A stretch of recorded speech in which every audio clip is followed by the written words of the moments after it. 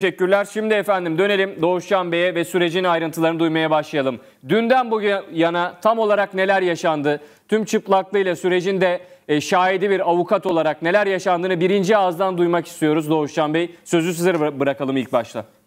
E, merhaba. Yani aslında bir hukukçu olarak e, izahtan çok uzak bir durumdan söz ediyoruz. Yani hani bir hukukçu olarak bu süreci nasıl açıklarsanız dersiniz ben açıklayamam. Açıklayamayacağım bir süreç. Çünkü neden?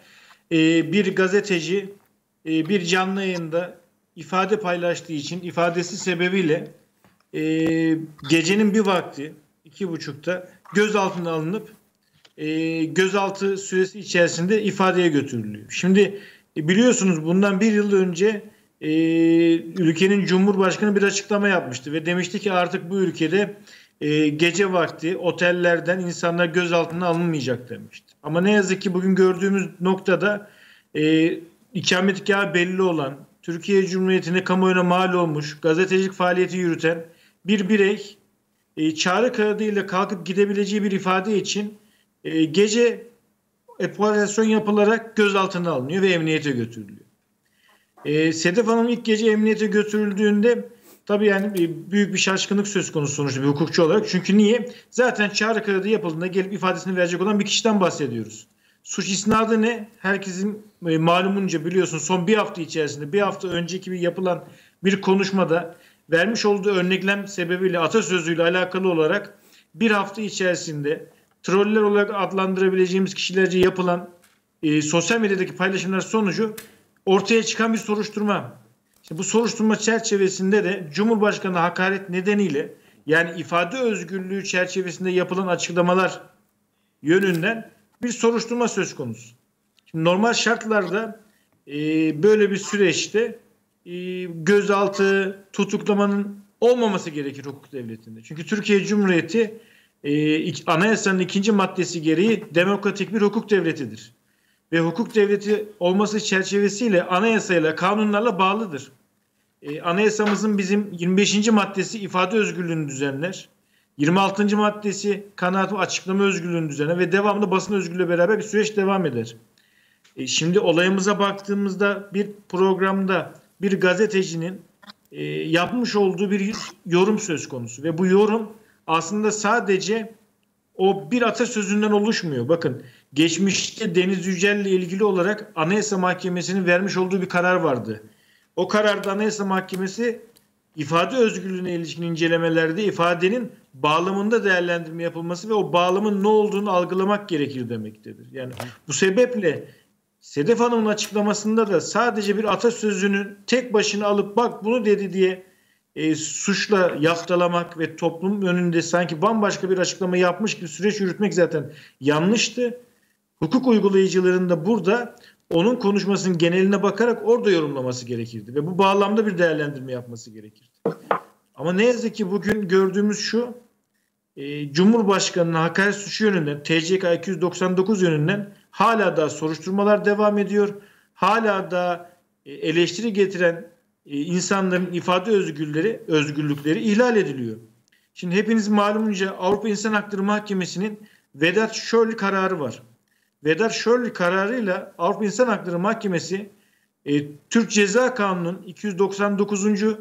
maddesinde yer alan suçun kanunilik unsurunu taşımadığına hüküm kurdu. Yani bu hüküm çerçevesinde artık bu suç yönüyle 299 yönüyle artık bir suç isnadının yapılmaması gerekiyor ve hatta yapılacak çalışmayla belki de mevcut soruşturmalar, mevcut kovuşturmaların da düşmesi gerekecek ilerleyen aşamalarda. Ama hala da e, bu aşama e, bu kanun maddesiyle ilgili bir çalışma yürütülmedi.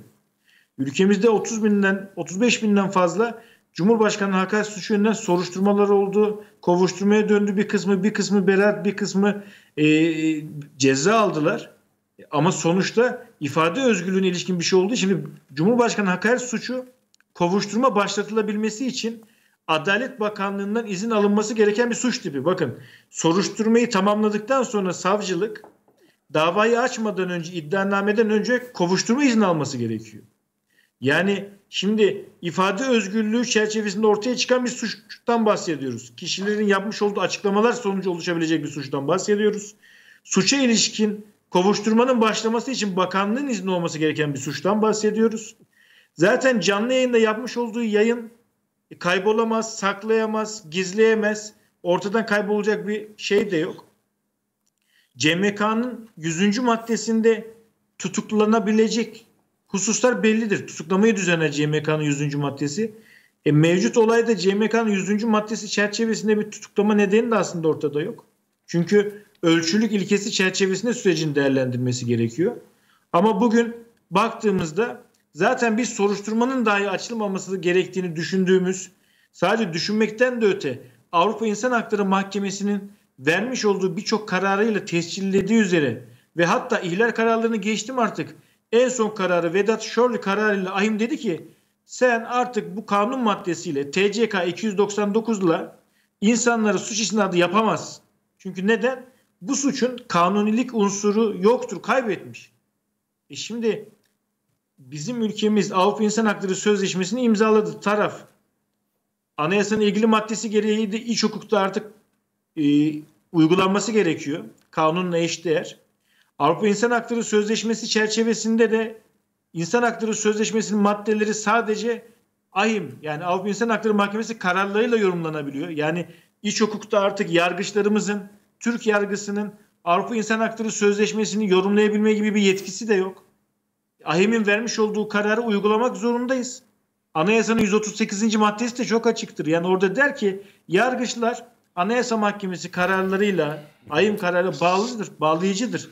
Ama ne yazık ki şu an hukuk uygulayıcının yürüttüğü süreçte biz hukuktan, mahkeme kararlarından daha uzak bir uygulama görüyoruz. Yani bir hukukçu olarak e, ne görüyorsunuz derseniz bu süreçle ilgili ben izah bile edebileceğim Peki. bir hukuki süreç görmüyorum. Ben bunu artık bir hukuki süreç olarak da algılayamıyorum. Yani çünkü bir hukukçu olarak artık anlatacağımız her şey bitti. Yani Türkiye'de olması gereken e, süreçler de belli ama uygulanmıyor.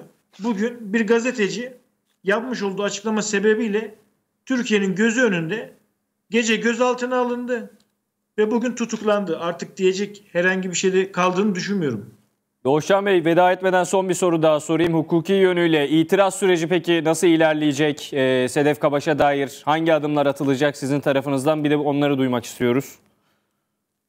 E tabi bu süreci e, avukat Uğur Poyraz'la beraber yürütüyoruz. E, Se- Sedef Hanım şimdi e, cezaevine götürüldü. Kendisiyle de görüşmeleri gerçekleştireceğiz. Ve bu süreçten sonra ilgili itirazlarımızı yaparak tutukluğa ilişkin itirazlarımızı çünkü gerçekleştir. Yazılı bir şekilde başvurularımızı yapıp itiraz sürecini değerlendir ve bütün yasal süreçlerimizi sonuna kadar kullanacağız. Peki e, Sayın Aygün çok teşekkür ediyorum vakit ayırdığınız için. Sıcak bilgileri en net haliyle sizden dinlemiş olduk. Çok teşekkürler. Rica ederim iyi yayınlar.